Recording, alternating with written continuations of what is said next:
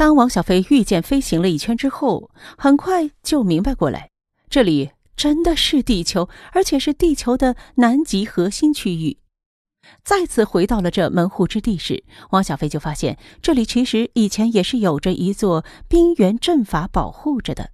可能是随着地球上灵气的弱化，现在这阵法已经停止了。不过，就算是停下了阵法，这个地方仍然没有人类到来。南极核心区域呀，就算是王小飞这样的修真者，也感应到了一些寒意。王小飞现在真的是充满了疑惑之情了。月球到地球就是一步的距离，这也太扯了一些吧？向着寻宝兔看去时，只见寻宝兔正在远处轰击着一处冰层。王小飞过去时，一眼看到的竟然是那冰层被寻宝兔一轰之后，一个巨大的天坑就出现在了那里。心中震动，王小飞过去一看时，眼里面就透着深深的震撼之情。只见这也并不完全是天坑之地，有一条通道就出现在了这里。再看那有着冰层覆盖的情况，王小飞满脑子都是疑惑之情了。这里明显并不是一般的地方啊！看得出来，这里有着人工的痕迹，只是这人工的痕迹因为年代的久远而显得淡化了。冰层之地也是阵法的原因形成的，现在那阵法松动之后才被兔子轰击，只要加入灵石，阵法仍然能够恢复过来。随着这冰厚的打开，一股灵气冲天而起。王小飞深吸了一口气时，全身都感觉到了一种活力。难道这才是玉兽宗的门派重地？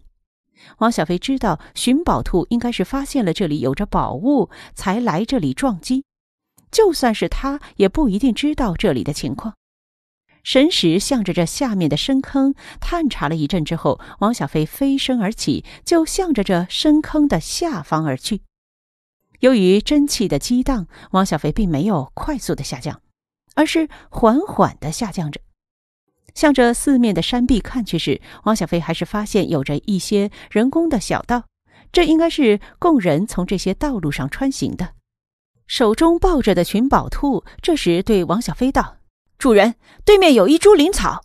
王小飞向着那岩壁过去时，果然就看到一株应该是有着数千年的灵仙草在那里生长着。这种灵草，王小飞还真的是没有。这是一种在元婴期都能够用来炼制丹药的灵草。王小飞快速的就挖了，种在自己的戒指里面。挖了这株灵草之后，王小飞对于这深坑里面又多了一些期盼之情。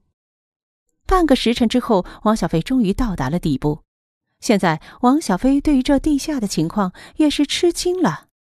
就算是他这样的人，都需要花半个时辰的降落才能够到达。也不知道那些从山壁间的道路上下来的人需要多长的时间了。还没等王小飞从这吃惊中反应过来时，一个让他更加震惊的场面呈现在他的面前。啊！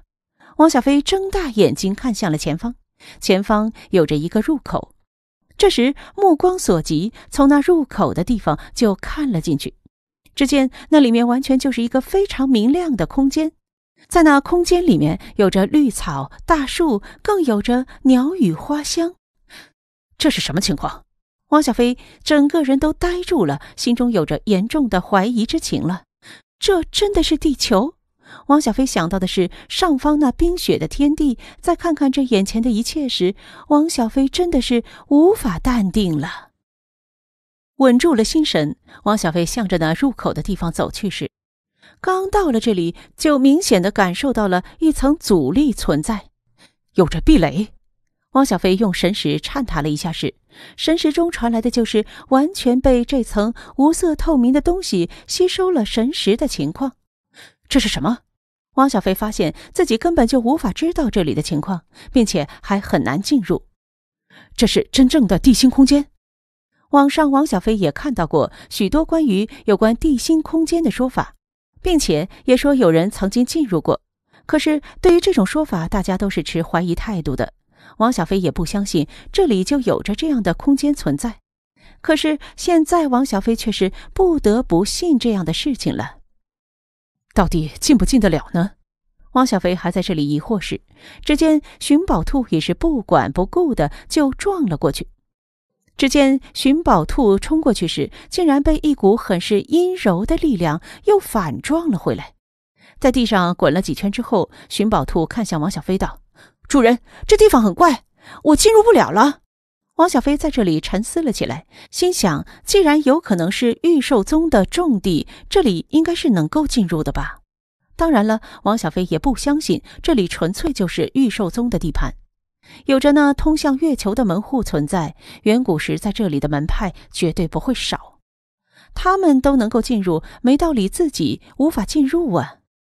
想到这里时，王小飞伸手就向着那门户的地方摸了过去。果然，当他的手摸到了门户那里时，明显就感觉到自己的手是摸到了一种很有弹性的能量体。修真者能够进入。王小飞把这事儿想了一下时，心中一动，真气就运转了起来，然后让自己的全身都布满了真气罩。随着这真气罩的形成，王小飞的手上传来的就是这层防御仿佛消失了，能行。看到这情况，王小飞的心中大喜，一把抱起了寻宝兔时，王小飞向着那门户里面就走了进去。一步迈出，王小飞就发现自己真的是站在了这门户里面，并没有如同寻宝兔那样被弹开。有门儿！王小飞又是一步迈出之后，整个人真的就从外面走了进来，好暖和。一进入到里面，王小飞就更加吃惊的看向里面，竟然有一轮太阳挂在那里。只是王小飞发现，这太阳看上去有些朦胧，并不是地表上的那么真实。这是投影。看到太阳的这个样子，王小飞就有些怀疑，这就是地表上能够看到的地球的一种投影。这地心之地果然充满了神秘感。外面的地表是夜里，这里却是阳光明媚的景象。王小飞向着这里面看去时，一眼望不到边际，到处都是鸟语花香，到处都充满了灵气。以前，王小飞对于地下有着空间的事情是想不明白的。他认为，地下如果真的有了空间，地球还不得坍塌？可是进入到了这里之后，才发现自己的想法天真了一些。这地下的气体看上去足以支撑整个地表。当然了，如果说有什么不适的地方，那就是王小飞发现自己在这里时，全身有一种强大的强力感传来。现在王小飞无论是飞行或是行走，都感觉到非常的吃力。越是向里走，王小飞就越是感觉到这里的一切都透着怪异。以前王小飞已经认定了地球上是没有灵气的，也不适合高阶的修真者存在。可是到了这里之后，王小飞发现自己的认知出现了问题。这里的灵气其实并不弱，不仅是不弱，还远远的超过了地球表面。置身在这里时，每一次呼吸都感觉到全身真气变得更加的活跃起来。在这地下的世界里面，王小飞已用神识向着四处查探过了。这里面很大，神识都探查不过来。除了这里有着强大的重力之外，一切与地表没有两样。寻宝兔在这草地上是最活跃的，它一路上都在跳动，仿佛这才是它的家园。王小飞用神识四处查探了一遍，发现这里有着大量的野兽存在。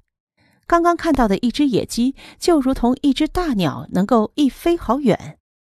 到了新的地方，王小飞也不敢大意了，一边行走，一边把自己的防御也加持在身。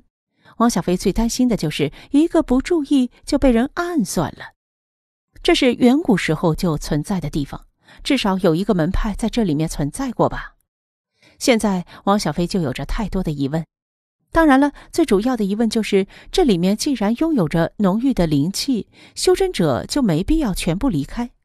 既然是这样，这上面又有着一个到月球的通道，想必修真者应该会在门户这里守护什么的。可是到了现在，也没有看到一个人从这里出现。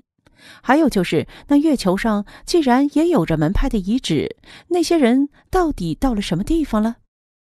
那李辉说过，有女修在月球之上，是通过天道离去的。她到底与这里有没有联系呢？